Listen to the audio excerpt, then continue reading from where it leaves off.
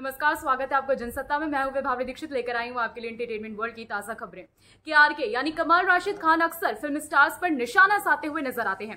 किसी न किसी विवाद में रहने वाले के आर के दिग्गज कलाकारों को लेकर किए गए आपत्तिजनक ट्वीट के बाद कानूनी पचड़े में फंसे हुए हैं।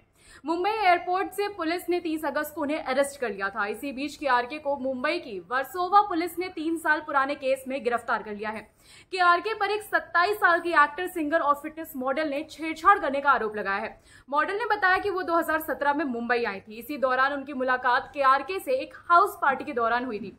के आरके ने खुद को बतौर प्रोड्यूसर इंट्रोड्यूस करवाया था। इतना ही नहीं, फ़ोन नंबर्स भी एक्सचेंज किए गए थे। और उसी साल के आरके ने उनसे वादा किया था कि वो उस मॉडल को फ़िल्म कैप्टन नवाब में लीड रोल देंगे, जिसमें उनके साथ इमरान हाशमी भी होंगे।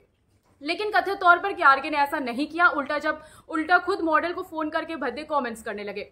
मॉडल ने आगे बताया कि 2019 में के ने उन्हें अपनी बर्थडे पार्टी में इनवाइट किया था। अगले दिन जब वो शाम सात बजे गई तो के ने जूस ऑफ़र किया।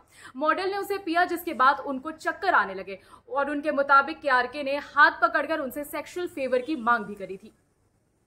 बॉलीवुड क्वीन कंगना रनौट इन दिनों अपनी आगामी फ़िल्म एमरजेंसी की शूटिंग में बिज़ी चल रही हैं। इस फ़िल्म में कंगना रनौट पूर्व प्रधानमंत्री इंदिरा गांधी का किरदार निभाती हुई नज़र आएँगी।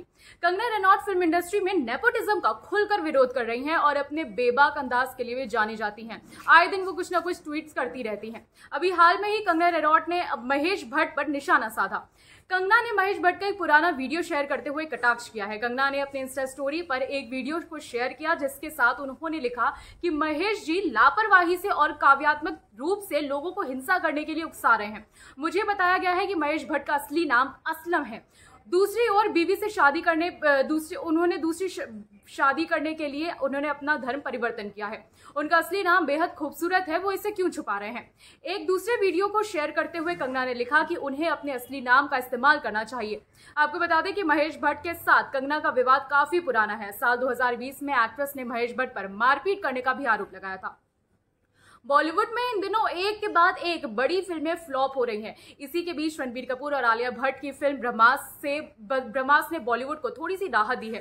फ़िल्म की एडवांस बुकिंग में शानदार रिस्पॉन्स मिल रहा है। ये साल अभी तक बॉलीवुड के लिए बहुत अच्छा नहीं रहा है। ऐसे में मेकर्स के अलावा डिस्ट्रीब्यूटर्स को भी इस फ़िल्म से काफ़ी उम्मीदें हैं। ट्रेड एनालिस्ट तरन आदर्श ने एक ट्वीट करके बताया है कि ब्रह्मास की एडवांस बुकिंग अंत में इंडस्ट्री के लिए कुछ राहत बनकर आ रही है। उन्होंने बताया कि पहले दिन के लिए ग्यारह टिकटों की एडवांस बुकिंग हो गई है। चूँकि ये सुविधा केवल कुछ ही शहरों में है एडवांस बुकिंग की बात करें तो शुक्रवार को कुल टिकट बिक्री तिरसठ प्रतिशत, शनिवार को पच्चीस प्रतिशत और संडे को बारह प्रतिशत देखी गई। आपको बता दें कि ब्रह्मास दो की सबसे महँगी फ़िल्म है। फ़िल्म का कुल बजट चार सौ दस करोड़ रुपए है। अभी के लिए बस इतना ही। बाकी एंटरटेनमेंट वर्ड से जुड़ी हम अपडेट्स के लिए बने रहे जनसत्ता के साथ। धन्यवाद।